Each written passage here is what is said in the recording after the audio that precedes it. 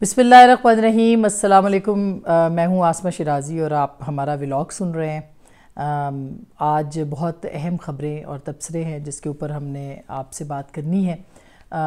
कुछ developments London से कल रात तक आ रही थी और आज शबाज शरीफ साहब को वतन वापस आना था। आ, लेकिन वो आज वतन वापस नहीं आए और इतलात ये हैं कि वो सोमवार के दिन भी बमुश्किल इस्लामाबाद जो है वो पहुँचेंगे। अहम फ़ैसला है, बहुत अहम फ़ैसला है, लेकिन अजीब बदकस्मती है इस मुल्क की कि एक तैनाती के इर्द गिर्द सारी सियासत भी घूम रही है। और पाकिस्तान के जितने भी मामला हैं, वो एक जगह के ऊपर अड़े हुए हैं आके, और ऐसे लगता है कि ये नवंबर गुजरेगा तो पाकिस्तान की जो रियासत है, ममलिकत है, हुकूमत है, कारकर्दगी है, काम है, वो कहीं से दोबारा से असर नौ चलना शुरू हो जाएँगे। लॉन्ग मार्च भी अपनी जगह पे जारी है, इमरान खान साहब के मुतालबात भी अपनी जगह पे मौजूद हैं। ये तैनाती भी होनी है, इस तैनाती के अंदर भी बहुत सारे जो पहलू हैं वो बहुत अहमियत इख्तियार कर गए हैं। और ख़ास करके पी एम एल एन की लीडरशिप ने कल एक अहम ऐलान किया था या एक ज़राए से ख़बर निकली थी कि सीनियर मोस्ट को जो है वो आर्मी चीफ़ लगाया जाएगा। और उस ख़बर के बाद कुछ दिलचस्प डेवलपमेंट्स हुई। ये ख़बर चलती रही काफ़ी देर स्क्रीन्स के ऊपर और ये मामला जो है वो, जो कि काफ़ी दिनों से आ रहा था कि सेटल डाउन हो चुका है, कि सीनियर मोस्ट जो है, जो कि आसिम मुनीर साहब बनते हैं, उनको आप जो है वो आर्मी चीफ़ लगाएँगे। और उसके ख़बर चलने के कुछ देर के बाद जो है वो ख्वाजा आसिफ साहब का एक ट्वीट आता है जिसमें कि वो ये फरमाते हैं कि अभी तक ये फ़ैसला नहीं हुआ है। और भी बहुत सारे बैकडोर चैनल्स जो थे, वो चल रहे थे। पहले तोसी की बातें आती रहीं, फिर नए चीफ़ की बातें आई नए चीफ़ में सीनियर मोस्ट की बातें आई।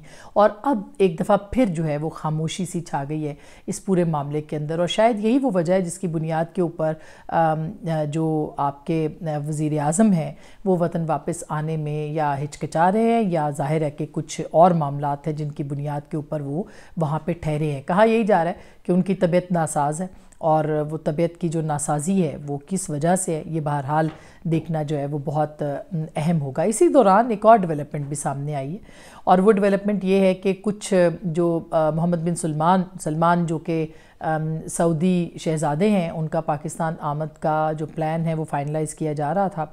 और उसके बारे में मुतजाद इतलात आ रही हैं। लेकिन चूँकि ये अभी तक कन्फर्म नहीं है तो इसके ऊपर हम हतमी तौर पर कुछ कह नहीं सकते कि आया वो अपने स्केजुअल दौरे पे आ रहे हैं या ये दौरा कुछ दिन आगे चला गया। और इसकी वजह क्या है ये? इसके ऊपर, इसकी तफसीलात में फ़िलहाल हम नहीं जाना चाहते। ये भी इतलात हैं कि आर्मी चीफ़ की तैनाती के अंदर अब आसिफ अली जरदारी साहब जो हैं, उनकी भी राय अहमियत इख्तियार कर रही है। बहरहाल सीनियर मोस्ट जो हैं वो तीन अशखास का नाम अब लिया जा रहा है। यानी कि पहले पाँच सीनियर मोस्ट जो थे, उनके नाम जाते थे। अब तीन हैं, जिनके नाम जो है, वो प्राइम मिनिस्टर ने उनमें से एक फाइनलाइज करने हैं। दूसरी तरफ़ इमरान खान साहब हैं, जिनका यहाँ पे एक बहुत लॉन्ग मार्च से वो ख़िताब करते भी हैं। आज काफ़ी लाला मूसा के अंदर उनका खिताब था। अगेन, हम ये कह रहे हैं कि तादाद मैटर नहीं करती, मगर कोई बहुत अच्छी तादाद उनके लॉन्ग मार्च में नहीं थी। और बहुत कोई दमखम जो है, वो नज़र नहीं आ रहा। ज़ाहिर इमरान खान साहब खुद भी नहीं है, लेकिन जब वो खुद भी थे तो कोई बहुत अच्छा नंबर जो था वो एक जैसे कहना चाहिए टर्न आउट वो बहुत अच्छा टर्न आउट नहीं था लोगों का सड़कों के ऊपर। और हम पहले ही बता चुके हैं कि आई के जो सर्वेज़ हैं, वो ये कह रहे हैं कि आवाम ये चाहती है, इमरान खान साहब के सपोर्टर्स ये चाहते हैं कि वो पार्लियामेंट में वापस आए। इमरान खान साहब ने बहरहाल फिर एक मरतबा, फिर कल से अब अब तक, यानी कल जो खिताब किया, आज जो बातचीत की और जो, यानी खिताब किया उसके अंदर बार बार वो एक बात कर रहे हैं कि आर्मी चीफ़ को मेरिट के ऊपर जो है उसको, उनको तैनात होना चाहिए। अब मेरिट से मुराद क्या है इमरान खान साहब की? ये बहुत अहम है। अब ये जो पाँच सीनियर जर्नैल हैं, ये पाँचों के पाँचों पाँचों बहुत कॉम्पिटेंट और अहल लोग हैं। इनमें से कोई एक भी इनकॉम्पिटेंट नहीं है। कुछ लोगों के ऊपर जो है वो ज़रूर बात हो रही है कि उनका एक सियासी किरदार रहा है वगैरह वगैरह, और इमरान खान साहब के बहुत करीब रहे हैं एक शख्सियत के हवाले से, लेकिन उसके अलावा वो भी शख्सियत भी कॉम्पिटेंट है। इसमें कोई दो राय नहीं है कि जब आप 30-32 साल का सर्विस करके आप फ़ौज के ऊपर अंदर आते हैं तो आपकी एक अपना एक, आपका एक किरदार होता है और आपकी एक अहलियत होती है जिसकी बुनियाद के ऊपर आप जो है वो सामने आते हैं। अब इमरान खान साहब के मेरिट से मुराद क्या है? मेरिट से उनकी मुराद ये है कि उनकी पसंद का चीफ़ जो है वो लगना चाहिए और उनकी पसंद का कोई भी चीफ़ अगर नहीं लगेगा, कोई शख्सियत नहीं लगेगी और एक जो कि उनको पसंद नहीं है वो लग जाएँगी तो इसका मतलब है कि मेरिट नहीं है। और वो कहते हैं कि जी मेरिट सिर्फ़ वो है जो इमरान खान साहब कहते हैं। इसीलिए वो फिर डायरेक्ट हमले भी कर रहे हैं। मसलन ये कि जो मफरूर हैं, जो चोर हैं, जो फलाने हैं, वो लंदन में बैठ के फ़ैसले कैसे कर रहे हैं? असल में इमरान खान साहब की जो सारी पॉलिटिक्स थी, उसका, उसकी यानी पिछले तकरीबन एक साल से उनका मतम नज़र यही था कि उनको आर्मी चीफ़ लगाना है। और उस आर्मी चीफ़ के लगाने के लिए पूरी एक स्टेज जो थी वो बनाई जा रही थी या बनाई गई थी। और एन उस वक्त पे जबकि उनको आ, आ, मतलब लगाना था आर्मी चीफ़ को तो आपने देखा कि पाकिस्तान डेमोक्रेटिक अलायंस और मूवमेंट और जो पाकिस्तान पीपल्स पार्टी है उन्होंने मिल के उनकी हुकूमत को आइनी तौर पर बरतरफ किया ख़त्म किया उनको हटाया अपने वजारत उज़मा से और वो खुद आके बराजमान हो गए अब ये चीज़ जो है इससे उनका जो प्लान था, या जो कहा जा रहा है कि 2028 का प्लान था कि एक आर्मी चीफ वो लगाएँगे, फिर उनको वो इलेक्शन में जीतेंगे, फिर वो जीत के वापस आएँगे। हालाँकि वो उस वक्त बहुत अनपॉपुलर थे, उसके बावजूद। और वो फिर उसके बाद वो आते चले जाएँगे और एक अपना जो यानी कि 2028 तक का प्लान है, उसके ऊपर अमल दरामद होगा। वो तलपट हो गया और पूरा का पूरा जो उनका एक प्लान था, वो मंसूबा जो था या जिस किसी ने भी बनाया था, जो कोई भी इसके पीछे था, जिसकी भी ख्वाहिशात थी, वो सारा का सारा मंसूबा ख़राब हो गया। तो ज़ाहिर है कि इमरान खान साहब इस वक्त जो हैं, वो इस मामले के ऊपर बहुत फ्रस्ट्रेटेड हैं। उनकी गवर्नमेंट जब हटाई गई उसके ऊपर भी वो इसीलिए फ्रस्ट्रेटेड थे कि एक पूरा जो उनका एक एक उनकी एक स्ट्रेटजी थी उस स्ट्रेटजी के अंदर जो है वो एक ब्लॉकेज आ गया। अब होगा क्या? इमरान खान साहब चाहते हैं कि जल्द से जल्द अगर ये फ़ैसला नहीं होता तो वो अपना जो आ, अपना जो उनका कॉन्वाय है या उनकी जो लॉन्ग मार्च है वो इस्लामाबाद पहुँचे उसका रुख भी वो कहते हैं पिंडी की तरफ़ है वो अनाउंस कर चुके हैं। पहले भी उन्होंने लॉन्ग मार्च अनाउंस किया था वो नहीं करना थे। फिर भी वो इस, उनको लॉन्ग मार्च करना पड़ा क्योंकि एक तरह से जो है वो आर्मी चीफ़ की तैनाती या तोसी के हवाले से अपना जो प्रेशर है वो बिल्डअप करना चाहते थे। और वो पब्लिक के लेवल के ऊपर या जो एक आवाम के लेवल के ऊपर वो, उसके ऊपर उनको पजीराई नहीं मिली है। अब उनके पास ज़ाहिर है कि ऑप्शन यही है कि वो इस तरह की हाइप ले जाएँ कि वो उससे पहले कि ये तैनाती हो और उससे पहले कि वो पिंडी पहुँचें कुछ मामला जो है वो इन बिटवीन तय पा जाएँ और उसके लिए जो है वो पिंडी से या इस्लामाबाद से या सदर ममलिकत के ज़रिए से या जो भी उनके पार्टी के इर्द गिर्द लोग हैं, उनके ज़रिए से वो बात करना चाह रहे हैं। खुरम हमीद रोकड़ी साहब जो हैं, उनका तो आपने देख ही लिया कि उन्होंने तो साफ़ आके साफ़ बता दिया कि मेरे मेरे ज़रिए से बात हो रही थी जनरल फैसल नसीर, जिनके ऊपर वो इल्ज़ाम लगा रहे थे। उसी वक्त वो उनसे बातचीत के लिए भी रबते कर रहे थे और यही दिलचस्प बात है। कि इमरान खान साहब या उनकी जमात जो लम्हा मौजूद में कह रही होती है एक्चुअली वो उससे बिल्कुल उलट कर रही होती है।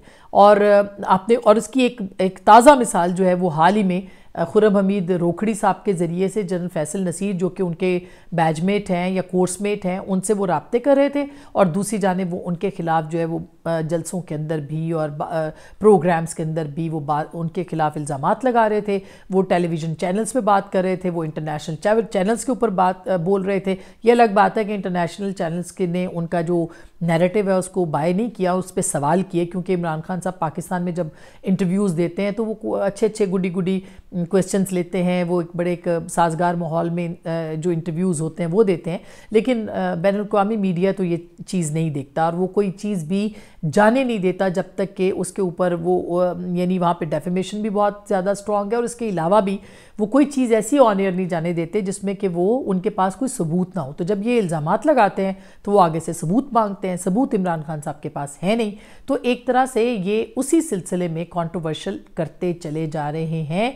आर्मी चीफ की तैनाती को, इदारों को एजेंसियों को, और ज़ाहिर है कि इमरान खान साहब जो हैं, वो अगर उनकी पसंद की कोई शख्सियत नहीं आई तो वो किसी को भी नहीं मानेंगे। और वो कहेंगे कि ये जो है, ये अपना मेरिट पे नहीं है, और मेरिट को बहाना बना के वो एक शख्सियत जो भी होगी, जो कि अभी आर्मी चीफ बनी भी नहीं होगी, जिसने अभी अपने इख्तियार इख्तियार को भी नहीं देखा होगा वो उसके ख़िलाफ़ जो है वो अपना एक पूरा नैरेटिव बिल्डअप करना शुरू हो जाएँगे। अब इस गेम के अंदर जो टॉप थ्री हैं उसके अंदर अब आ, हो सकता है कि कोई चीज़ें जो है वो मैनेज हो सकें। लेकिन क्या अगर इमरान खान साहब की पसंद के मुताबिक कोई नहीं आएगा तो क्या फिर भी वो पिंडी का रुख करेंगे? क्या वो फिर भी नए आर्मी चीफ़ की तैनाती को चैलेंज करेंगे? उसका लीगल रास्ता क्या इख्तियार करेंगे? वो सदर ममलिकत के ज़रिए से इन्फ्लुएंस करने की कोशिश करेंगे? वो सदर ममलिकत के ज़रिए से रोकने की चीज़ों को कोशिश करेंगे? वो क्या करेंगे? ये एक दिलचस्प बात है और इस मामले के ऊपर जो है वो